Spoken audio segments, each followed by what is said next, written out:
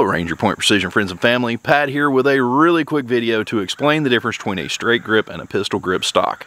I've typed hundreds of emails and hundreds of DMs to you guys and sometimes it just seems like the guy still doesn't get it. So it's easier for me to make a video showing you the difference between a straight grip and a pistol grip stock because quite frankly we have too many returns and we want you guys to get it right the first time. We want to kill the frustration of having to ship it back, being without your parts for you know X amount of days while it's all in transit and stuff like that. We just want you to just conveniently be able to put the correct part on the correct gun and do it right the first time. So let's go. And boom, here we have two Henrys. Now this is going to apply the same to a Marlin as well. So we have got a Henry X Model 4570. All of your X models are going to have a pistol grip. Pistol grip is defined by this curvature here. This is a Henry All-Weather 3030 and it has got a straight grip. So the straight grip literally being as straight as a ruler. That's how you tell the difference.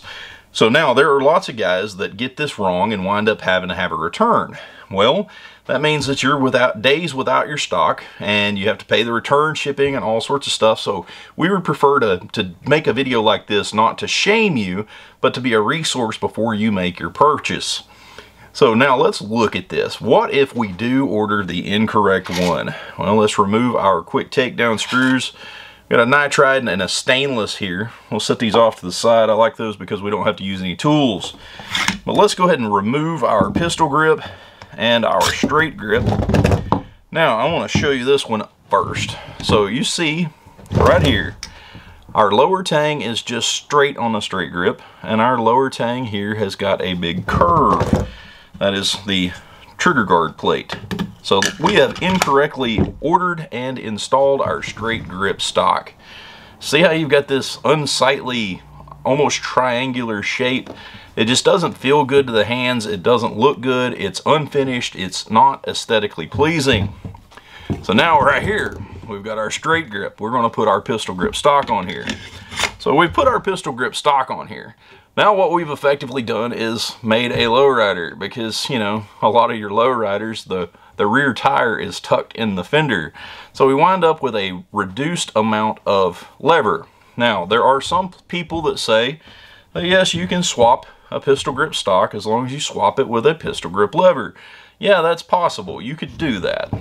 But now, what I just don't like about it, in my opinion, is you will just forever have this unfinished hole that unfinished hole will be there to gather dirt and dust and other stuff like that. So with that being said, you could replace the trigger guard plate and wind up filling that hole in and maybe it wouldn't be so bad. That, In my eyes, that's the way to finish that conversion. So now let's go ahead and go back and put these on the correct gun.